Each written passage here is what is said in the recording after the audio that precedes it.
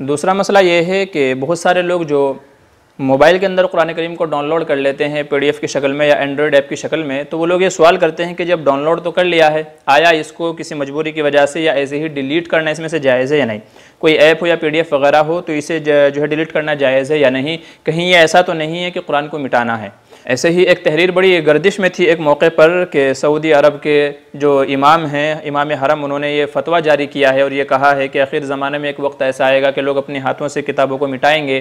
قرآن کریم کو مٹائیں گے اور آج ہم دیکھتے ہیں کہ واٹس اپ وغیرہ کے اوپر، فیس بک وغیرہ کے اوپر جو قرآن کریم کی آیتیں آتی ہیں تو لوگ اس کو ڈیلیٹ کر دیتے ہیں۔ موبائل کے اندر جو قرآن ہوتا ہے تو اس کو ڈیلیٹ کر دیتے ہیں اور اس کا ڈسٹ بن باقاعدہ بنا ہوا آتا ہے۔ جب کوئی چیز ڈیلیٹ کرتے ہیں تو وہ ڈسٹ بن میں آتے ہیں۔ تو مطلب ڈسٹ بن کا مطلب یہ ہے کچرا پیٹی۔ تو ہم اپنے ہاتھوں سے قرآن کو مٹا کر کے، ڈیلیٹ کر کے، ختم کر کے کچرے کی پٹی میں ڈالتے ہیں۔ لہٰذا یہ آپ صلی اللہ علیہ وسلم کی جو ہے وعید کے اندر اور جو آپ نے حدیث اور پیشین گوئی فرمائی تھی اس کے اندر داخل ہے۔ تو بہت سارے لوگ اس کے اندر ڈرتے ہیں اور کنفیوز کے اندر جو ہے اس کے شکار رہتے ہیں۔ اور اس طرح کی تحریرات کو بڑا گھماتے رہتے ہیں اور فارورڈ کرتے رہتے ہیں۔ تو کیا آیا آیا حقیقت میں موبائل سے یا واٹس اپ وغیرہ میسیجز میں سے قرآن کریم کی آیتوں کو ڈیلیٹ کرنا یا قرآن کو ڈیلیٹ کرنا کیا قرآن کو مٹانا ہے، ختم کرنا ہے؟ تو اس کا جواب یہ ہے کہ یاد رکھیے کہ ضرورت کے موقع پر قرآن کریم کو ڈیلیٹ کرنا یا قرآن آیتوں کو میسیجز وغیرہ میں سے ڈیلیٹ کرنا یہ بالکل جائز اس کے اندر کوئی مذائقہ نہیں ہے اور یہ قرآن کریم کو ختم کرنا نہیں ہے۔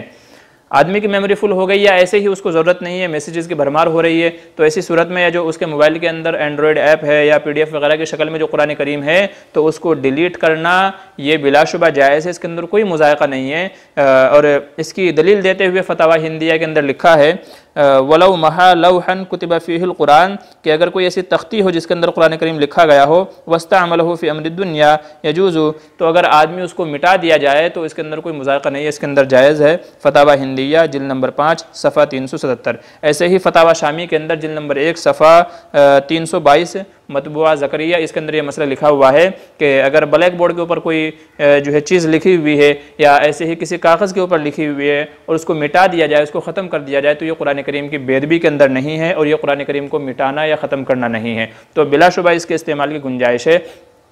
لہٰذا جب ہم کسی سلیٹ کے اوپر، تختی کے اوپر یا کاغذ کے اوپر لکھے ہوئے جو ہے قرآن کریم کی آیتوں کو مٹا سکتے ہیں، اللہ کے اسما کو مٹا سکتے ہیں، تو میسیجز وغیرہ کے اندر سے بھی قرآن کریم کی آیتوں کو ڈیلیٹ کرنا بلا شبہ جائز ہے اور اس کے اندر کوئی مذائقہ نہیں ہے۔